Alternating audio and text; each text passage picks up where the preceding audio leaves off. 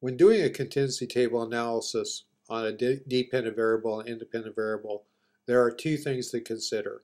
First of all, you need to interpret the marginal frequencies or marginal percent distributions for the dependent variable.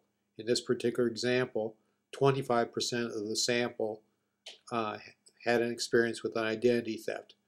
You also need to interpret, however, the joint cell frequencies or relative proportions in those cells, which in this particular example indicate that 40% of men were a victim of identity theft versus only 10% of females.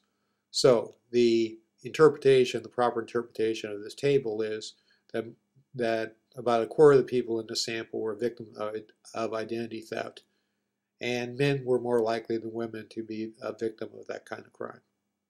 That's the proper interpretation of this table.